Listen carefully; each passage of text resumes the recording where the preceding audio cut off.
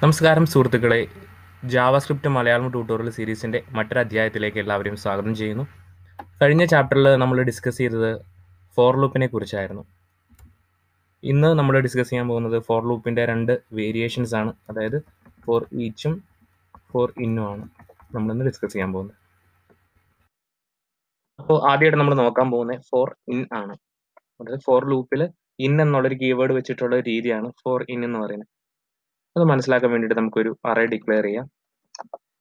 ഈ അറേയുടെ അകത്ത് നമുക്ക് കുറച്ച് നമ്പേഴ്സ് കൊടുക്കാം. സിക്സ്റ്റി സെവന്റി എയ്റ്റി നയന്റി ഇനി നമുക്ക് ഈ അറയിലെ ഓരോ എലമെന്റിനെ ഡിസ്പ്ലേ ചെയ്യണം.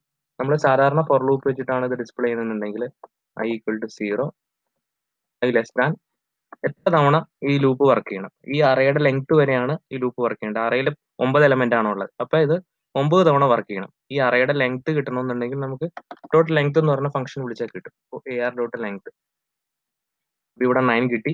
അപ്പോൾ I less than nine then I increment ചെയ്യുക. അതിനുശേഷം എന്ത് ചെയ്യുക? കൺസോൾ ഡോട്ട് ലോഗ് എന്താണ് നമുക്ക് ഡിസ്പ്ലേ ചെയ്യേണ്ടത്? ഈ അറയിലെ ഈ ഐത്ത് ഇൻഡെക്സിൽ അതായത് ഐയുടെ വാല്യൂ ആദ്യം സീറോ ആയിരിക്കും. അപ്പോൾ സീറോത്ത് ഇൻഡെക്സ് പിന്നെ വൺ ആവും. ഇപ്പോൾ ഫസ്റ്റ് ഇൻഡെക്സ് സോ അതായത് എ ആർ ഓഫ് ഐ ഓരോ തവണ ഐയുടെ വാല്യൂ മാറിക്കൊണ്ടേയിരിക്കും. എക്സിക്യൂട്ട് ചെയ്യുമ്പോൾ നമുക്ക് ഈ അറയുടെ ഓരോ എലമെന്റ്സ് കൂടെ കൺസോൾ ചെയ്ത് വന്നു. ടെൻ ടു നയന്റി വരെ കൺസോൾ ചെയ്ത് വന്നു. ഇതാണ് നോർമൽ ഫോർ ലൂപ്പ് വെച്ചിട്ട് നമ്മൾ ചെയ്യുന്ന രീതി. ഇനി ഫോർ ഇൻ വെച്ചാണ് ചെയ്യുന്നതെങ്കിൽ ഇതേ സെയിം കാര്യം നമുക്ക് ഇങ്ങനെ എഴുതാം. For I in K R console dot log K R of I ഇതിന്റെ താഴെ സെയിം റിസൾട്ട് നമുക്ക് കാണാം. ടെൻ ടു നയന്റി അതായത് ഈ എഴുതുന്ന സിൻടാക്സിനെ കുറച്ചുകൂടെ സിമ്പിൾ ആയിട്ട് എഴുതിയേക്കാണ് ഇവിടെ. അതായത് നമുക്ക് അറിയാം ഇത് കൗണ്ട് ചെയ്ത് മുന്നോട്ടാണ് പോകുന്നത് അപ്പൊ നമ്മൾ ഈ അറയുടെ ലെങ്ത് കണ്ടുപിടിക്കണം ലെസ് ദാൻ നോക്കണം. ഇതൊന്നും ചെയ്യാതെ തന്നെ നമുക്ക് വളരെ എളുപ്പത്തിൽ ഇത്തരം അറയുടെ ഓരോ എലമെന്റിനെ എടുത്ത് പ്രോസസ് ചെയ്യാൻ വേണ്ടി ഉപയോഗിക്കുന്ന ഒരു ഫംഗ്ഷൻ ആണ് ഫോർ ഇൻ എന്ന് പറയുന്നത്. ഉദാഹരണത്തിന് എനിക്ക് അറയുടെ എലമെന്റ്സിന്റെ സമ്മ് കാണാനുള്ള ഒരു പ്രോഗ്രാം എഴുതണം. സമ്മ് ഈക്വൽ ടു സീറോ അപ്പൊ ആദ്യം സമ്മിന്റെ വാല്യൂ നമ്മൾ സീറോ ആക്കി വെച്ചു.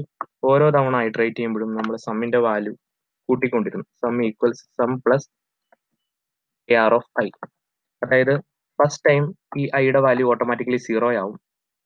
എ ആർ ഓഫ് സീറോ എന്ന് പറഞ്ഞു കഴിഞ്ഞാൽ ടെൻ ആണ്. അപ്പോൾ sum equal to sum plus ten എന്ന് പറഞ്ഞാൽ sum equal to zero plus ten അതായത് സം ടെൻ ആയി. പിന്നെ ഈ ലൂപ്പ് ഓട്ടോമാറ്റിക്കലി ഐയുടെ വാല്യൂവിനെ ഇൻക്രിമെന്റ് ചെയ്യിക്കും. ഇവിടെ നമ്മളായിട്ട് ഇൻക്രിമെന്റ് ചെയ്യണമായിരുന്നു. പ്ലസ് പ്ലസ് ഐ കൊടുത്തിട്ട്. ഇവിടെ ഓട്ടോമാറ്റിക് ആയിട്ടാണ് ഇൻക്രിമെന്റ് ചെയ്യുന്നത്. ഇൻക്രിമെന്റ് തനിയെ വർക്ക് ചെയ്യുകയാണ് ചെയ്യുന്നത്. അടുത്തത് ട്വന്റി എന്ന നമ്പർ കൊടുക്കുന്നു. ട്വന്റി ഇതിലേക്ക് ആഡ് ചെയ്യുന്നു. അവസാനം നമുക്ക് ഈ ടെൻ ടു നയന്റി ആഡ് ചെയ്തിട്ടുള്ള റിസൾട്ട് കിട്ടുന്നു. അപ്പോൾ നമുക്ക് കൺസോൾ ചെയ്ത് നോക്കാം. കൺസോൾ ഡോട്ട് ലോഗ് സമ്മ് കൊടുത്തു കഴിഞ്ഞാൽ നമുക്ക് ഫോർ ഫിഫ്റ്റി എന്നുള്ള റിസൾട്ട് കിട്ടി. ഇത് മൊത്തം സം ചെയ്താൽ കിട്ടുന്ന റിസൾട്ട് ആണ് ഫോർ ഫിഫ്റ്റി ഓക്കെ അപ്പോൾ വളരെ സിമ്പിൾ ആയിട്ട് നമുക്ക് ഈ അറേനെ പ്രോസസ്സ് ചെയ്യാനായിട്ട് ഇത് ഉപയോഗിച്ച് സാധിക്കും. അതാണ് ഫോർ ഇൻ എന്ന് പറയുന്നത്. ഇനി മറ്റൊരു വേരിയേഷൻ ആണ് ഫോർ ഈച്ച് എന്ന് പറയുന്നത്. ഫോർ ഈച്ച് എന്ന് പറയുമ്പോൾ അതിന്റെ എഴുതുന്നത് ഇങ്ങനെയാണ്. For each actually for each ഒരു ഫംഗ്ഷൻ ആണ് എന്ന് വേണമെങ്കിൽ പറയാം. നമ്മൾ ഈ ഫോർ ലൂപ്പോ അല്ലെങ്കിൽ ഫോർ ഇന്നോ യൂസ് ചെയ്യുന്ന പോലെയല്ല ഫോർ ഈച്ച് യൂസ് ചെയ്യുന്നത്. ഫോർ ഈച്ച് യൂസ് ചെയ്യാനായിട്ട് ഈ സെയിം എക്സാമ്പിൾ തന്നെ നമുക്ക് ഫോർ ഈച്ച് യൂസ് ചെയ്യണമെന്നുണ്ടെങ്കിൽ എ ആർ ഡോട്ട് അത് വ്യത്യാസമാണ് നമ്മൾ സാധാരണ ഫോർ എന്ന് പറഞ്ഞ് എഴുതുന്നതിന് പകരം ഈ ഏത് അറയാണെന്നുള്ളത് ആദ്യം പറഞ്ഞു കൊടുക്കും. അറയുടെ അകത്ത ഒരു ഫംഗ്ഷൻ ആണ് ശരിക്കും for each so A R dot for each ഈ ക്യാപ്സ് ആണ് ഫോർ ഈച്ച് അതിൽ ആർഗ്യുമെന്റ് എന്ന് പറയുന്ന ഒരു ഫംഗ്ഷൻ ആണ്. ഫംഗ്ഷൻ എന്താണെന്ന് നമുക്ക് പിന്നെ പഠിക്കാം. തൽക്കാലം അതിനെക്കുറിച്ച് ബോധപ്പെടാവുന്ന ഇതാണ് അതിന്റെ സിൻടാക്സ് എന്ന് പറയുന്നത്. A R dot for each function ഈ ഫംഗ്ഷന്റെ അകത്ത് രണ്ട് ആർഗ്യുമെന്റ് ആണ് ഉള്ളത്. ഒന്നാമത്തെ ആർഗ്യുമെന്റ് വാല്യൂ രണ്ടാമത്തെ ആർഗ്യുമെന്റ് ഇൻഡെക്സ് എന്താണെന്ന് നമുക്ക് നോക്കാം. Console dot log of value console dot log of index രണ്ടും നമുക്ക് കൺസോൾ ചെയ്ത് നോക്കാം. ഓക്കെ നമുക്ക് ആദ്യത്തെ ഇത് കമന്റ് ചെയ്യാം. കാരണം വന്നിരിക്കുന്നത് കണ്ടോളൂ. ടെൻ സീറോ ട്വന്റി വണ് ഇതെന്താന്ന് വെച്ച് കഴിഞ്ഞാൽ A R dot for each എന്ന് പറയുമ്പോൾ ശരിക്കും സംഭവിക്കുന്നത് എ ആർ എന്ന് പറഞ്ഞ അറയുടെ അകത്ത് ഇത് ഓട്ടോമാറ്റിക്കലി ഐട്രേറ്റ് ചെയ്യുന്നു. വൺ ബൈ വൺ ആയിട്ട് ഓരോ എലമെന്റിനെ എടുക്കുന്നു. എന്നിട്ട് ഈ ഫംഗ്ഷന്റെ അകത്തേക്ക് ഈ ഫംഗ്ഷനിൽ ഇപ്പോൾ വാല്യൂ എന്ന് പറയുന്നിടത്ത് ഫസ്റ്റ് ടൈം ഈ ടെൻ എന്നുള്ള വാല്യൂ ഓട്ടോമാറ്റിക്കലി അസൈൻ ചെയ്യുന്നു. ഇൻഡെക്സ് എന്നുള്ള സ്ഥലത്തേക്ക് ഇതിന്റെ പൊസിഷൻ അതായത് സ്റ്റാർട്ടിംഗ് പൊസിഷൻ സീറോ ആണ് സീറോയും അസൈൻ ചെയ്യുന്നു. സോ ഫസ്റ്റ് ടൈം ഇതിന്റെ വാല്യൂ ടെൻ ഇതിന്റെ വാല്യൂ സീറോ ദെൻ അടുത്ത ഇറ്ററേഷനിൽ ഈ വാല്യൂ ടെൻ മാറി ട്വന്റി ആകുന്നു. അപ്പോൾ ഇതിന്റെ പൊസിഷൻ എന്ന് പറഞ്ഞാൽ ഇത് സീറോ ഇത് വൺ അപ്പോൾ ഇൻഡെക്സ് വൺ ആകുന്നു. പിന്നെ ഇത് തേർട്ടി ആകുന്നു ഇൻഡെക്സ് ടു ആകുന്നു ഇത് ഫോർട്ടി ആകുന്നു ഇൻഡെക്സ് ത്രീ ആകുന്നു. അതാണ് ഇവിടെ കണ്ടത്. Ten index zero twenty index one so അങ്ങനെ പോകുന്നു. അപ്പൊ ഇവിടെ നമുക്ക് ഈ പറയുന്ന പോലെ നമ്പേഴ്സ് ഡിസ്പ്ലേ ചെയ്യാനും യൂസ് ചെയ്യാനും കുറച്ചുകൂടെ എളുപ്പമാണ്. ഈ രീതിയേക്കാളും കുറച്ചുകൂടെ എളുപ്പമാണ് നമുക്ക് ഇവിടെ ഇത് ആക്സസ് ചെയ്യാനായിട്ട്. മറ്റൊരു പ്രത്യേകത എന്താണെന്ന് വെച്ച് കഴിഞ്ഞാൽ ഇവിടെയൊക്കെ ഇൻഡെക്സ് ആണ് എടുക്കണം നമ്മൾ ഐയുടെ അകത്ത് ഇൻഡെക്സ് ആണോ ഉള്ളത്. So A R of I എന്ന് പറഞ്ഞ് നമ്മൾ എടുക്കണം. ഇവിടെ നമ്മൾ എവിടെയും എ ആർ ഓഫ് എന്ന് പറഞ്ഞ് ഉപയോഗിച്ചിട്ടില്ല. നമുക്ക് ഡയറക്റ്റ് ആയിട്ട് അതിന്റെ വാല്യൂ എടുക്കാം.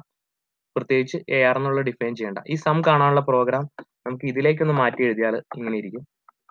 സം ഈക്വൽ ടു സീറോ ഓരോ തവണയും നമുക്ക് കൂട്ടേണ്ടത് സം ഈക്വൽ സം പ്ലസ് ഈ എ ആർ ഓഫ് ഐ എന്ന് എടുക്കുന്ന പോലെ ഇനി എ ആറിനൊന്നും പറഞ്ഞു കൊടുക്കണ്ട. നമുക്ക് ഈ വാല്യൂന്ന് ഡയറക്റ്റ് ഉപയോഗിക്കാൻ പറ്റും. വാല്യൂ ഇനി അതിന്റെ റിസൾട്ടിനെ കൺസോൾ ചെയ്താൽ നമുക്ക് സെയിം റിസൾട്ട് ആണ് കിട്ടുക. നമ്മൾ നാനൂറ്റി അമ്പത് സംതിങ് റിസൾട്ട് കിട്ടിയത്. ഓക്കെ നാനൂറ്റി അമ്പതാണ് റിസൾട്ട് കിട്ടുന്നത്. സോ ഇങ്ങനെ മൂന്ന് രീതിയിൽ നമുക്ക് ഫോർ ലൂപ്പിനെ വേരിയേഷൻ ആയിട്ട് ഉപയോഗിക്കാൻ പറ്റും. Normal for loop for in then for each for ഈച്ചിന്റെ use എന്ന് പറയുന്നത് ഇത്തരം അറേ ആയിട്ടോ അല്ലെങ്കിൽ ഒബ്ജക്റ്റ് ആയിട്ടോ അസോസിയേറ്റ് ചെയ്ത് വരുമ്പോഴാണ് ഫോർ ഈച്ചിന്റെ യൂസ് എന്ന് പറയുന്നത്. നമുക്കൊരു ഒബ്ജക്റ്റിന്റെ കേസിൽ എങ്ങനെ ഫോർ ഈച്ച് വരുന്നതെന്ന് കൂടെ നോക്കിയിട്ട് ഈ വീഡിയോ ക്ലോസ് ചെയ്യാം. സോ നമുക്കൊരു ആ നേരത്തെ ചെയ്ത പേഴ്സൺസിന്റെ എക്സാമ്പിൾ തന്നെ നോക്കാം. ഒരു അറേ ഒരു അകത്ത് മൂന്ന് പേഴ്സൺസ് ഉണ്ട്. മൂന്ന് ഒബ്ജക്റ്റുകൾ ഒന്നാമത്തെ ഒബ്ജക്റ്റ് കോമ രണ്ടാമത്തെ ഒബ്ജക്റ്റ് കോമ മൂന്നാമത്തെ ഒബ്ജക്റ്റ് നമുക്ക് നെയിം എന്ന് പറഞ്ഞ ആട്രിബ്യൂട്ട് മാത്രം കൊടുക്കാം. അപ്പു അപ്പു ഇട്ടിട്ടുള്ള ഒരു കളിയില്ല നമുക്ക്. നെയിം അമ്മു നെയിം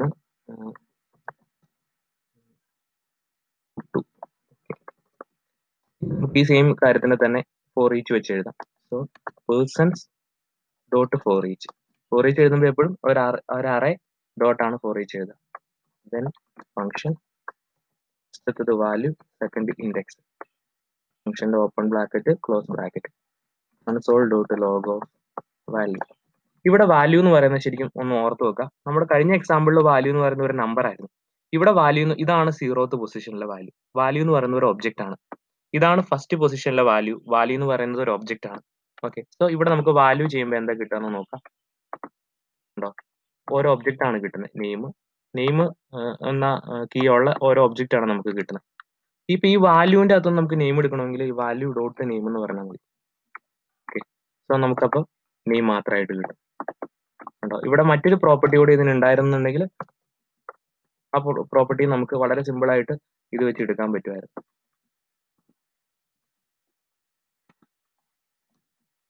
ഓക്കെ ഇനി നമുക്ക് ഏജ് എടുക്കാം. ഡോട്ട് ഏജ് ഉണ്ടോ മൂന്നിന് ട്വന്റി ഫൈവ് എന്നുള്ള വാല്യൂ ആയതുകൊണ്ടാണ് ഒറ്റയടിക്ക് കാണിച്ചത്. മൂന്ന് ഏജ് ഇവിടെ ഡിസ്പ്ലേ ആയി വന്നു. ഇങ്ങനെ നമുക്ക് ഒബ്ജക്റ്റിനെ ഐട്രേറ്റ് ചെയ്യാനും അറേ ഓഫ് ഒബ്ജക്റ്റിനെ ഐട്രേറ്റ് ചെയ്യാനും നമുക്ക് ഈ ഫോർ ഏജ് എന്ന് പറഞ്ഞാൽ ലൂപ്പ് ഉപയോഗിക്കാൻ പറ്റും. സോ ഇന്ന് നമ്മൾ പറഞ്ഞത് for for in for each ആണ്. ഇത് എല്ലാവർക്കും മനസ്സിലായി എന്ന് വിശ്വസിക്കുന്നു. എന്തെങ്കിലും സംശയമുള്ളവർ കമന്റ് ചെയ്ത് കഴിഞ്ഞാൽ നമുക്ക് സംശയങ്ങൾക്ക് നിവാരണം വരുത്താം. അടുത്ത വീഡിയോയുമായിട്ട് നമുക്ക് വീണ്ടും കണ്ടുമുട്ടാം. നന്ദി.